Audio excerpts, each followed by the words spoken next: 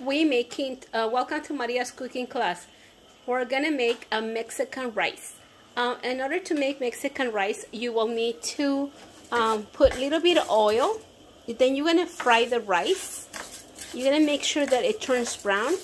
After it turns brown, you're gonna use a um, tomato, onion, garlic, and uh, chicken um, Knorr Suiza.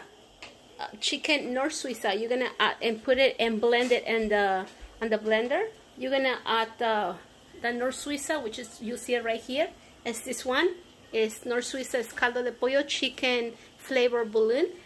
Bullet. So this is what you guys gonna be adding for the rice, for the Mexican rice. So it's getting ready over here. So it's already brown. So after it fries a little bit brown, so you're gonna put it in here. Then you're gonna add the tomato, the onions, the garlic, and the nocita, caldo de pollo, the chicken flavor balloon. So then after it is, it's two cups.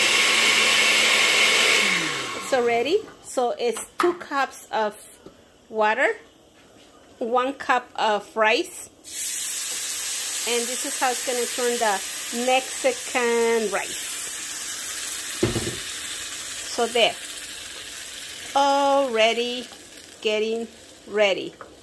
So hopefully you guys like it, and this is how you will make a Mexican rice. Rice, fry the rice, uh, blend tomato, onion, garlic, and chicken and add it in there with two cups of water, one cup of rice, and that's it. Hope you guys like it and make it at home. Have a blessed and wonderful day.